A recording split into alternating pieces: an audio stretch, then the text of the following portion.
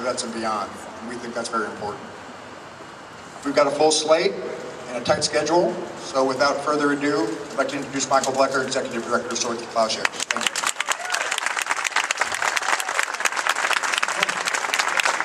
Thank you. Thank you, Leon Wenson, who did just a tremendous job pulling all these folks together.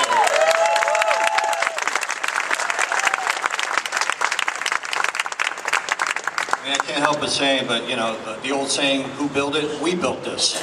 We, we. And that's going to be emphasized throughout the program. We truly did build this. Everybody in the room, everybody here, the whole community. And that's really what it's about. So I'm really happy everyone's here. It's going to be practically a love fest here.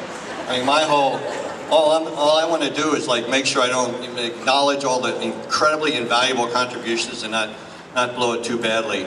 Um, not going to be a lot of eloquence. The eloquence is really in this building, right? This is the eloquence. The eloquence is the is that 75 formerly homeless vets we're going to help alleviate their suffering, right? That's what it's all about. Serve their country. So just take a keep on the building, that's your eloquence. So um, as Leon said, again it's just a remarkable job. And as I go through this, you'll get a, you'll appreciate all the all the incredible folks who were who made this made this real. Um, it, it's really unprecedented in terms of the collaboration partnerships. Uh, it would never have happened but for all these, all, everybody that you're going to hear about who, and only few will get a chance to speak because it's just too, too many. Um, so let me just begin by saying that the partnership started with Swords and Chinatown CDC, a tremendous partner for us. I mean, we're the provider, Chinatown CDC is a very experienced nonprofit uh, housing developer, and we are so lucky in San Francisco to have such a rich, nonprofit housing development community. It's really unbelievable. It's unprecedented, really. San Francisco, are you kidding me? I mean, the years of experience of what they have done and how many people they've taken off the street. I mean, I think they, us, we, really remarkable.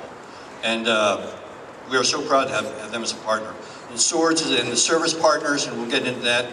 And, oh yeah, the funders. Funders are, funders are there, and the policymakers. So some of the three big partners are Gelfand Partners, the architect, preserving this historical building, Lisa Gelfand, Jim Fagler, and Kate Oshel, who are part of the Gelfand part architects. And their names come up so much at the nonprofit development. You know, there's a, a, a small list of people who know each other very well, who end up really, really helping create so much of this really crucial, important housing that really, you know, we're talking about poverty prevention and, and, and, opportunities. That's what we're talking about.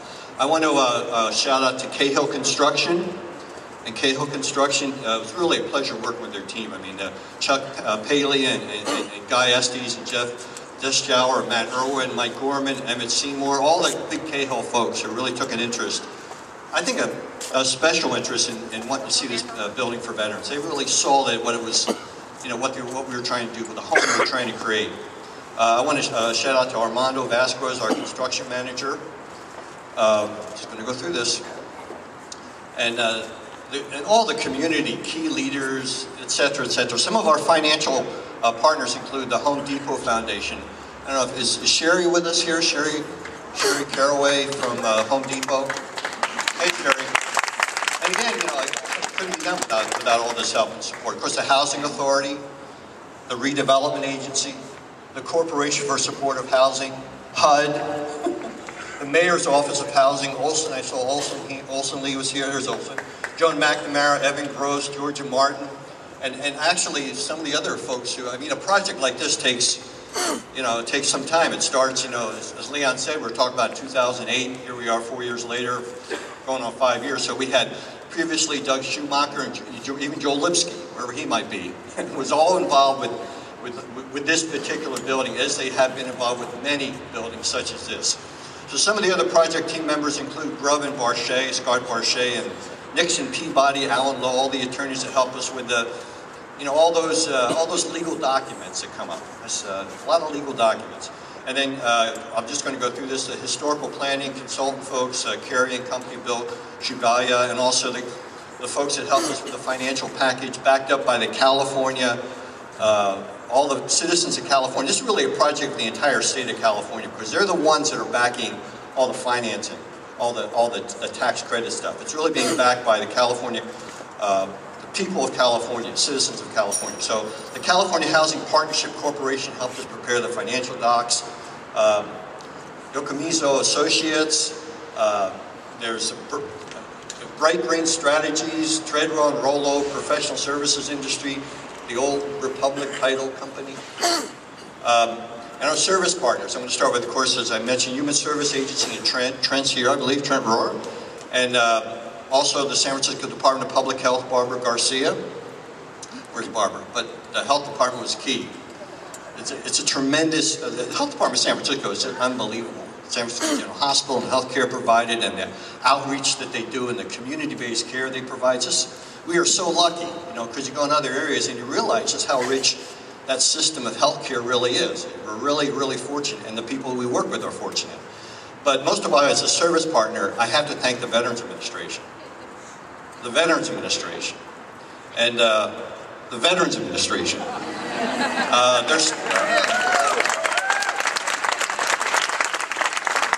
VA. We built this, the public, the people, the nation, the country. That's what we're. That's what this is about.